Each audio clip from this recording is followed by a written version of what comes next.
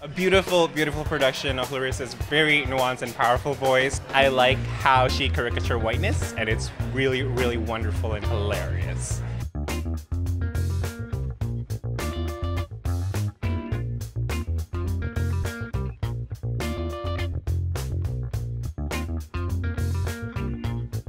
I thought it was very funny.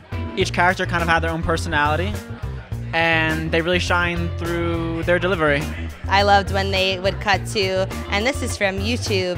I've seen those really happen in classrooms, and I, as a teaching artist, I have to go into the room and say, well, actually, let's find another way to do this. Um, so those definitely happen in real life.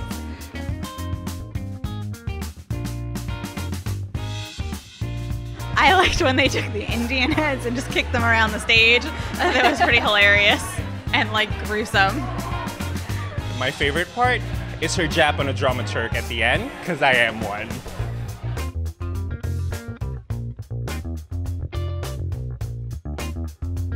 A lot of classroom teachers should see this show because they are teaching our history all wrong in a very whitewashed way.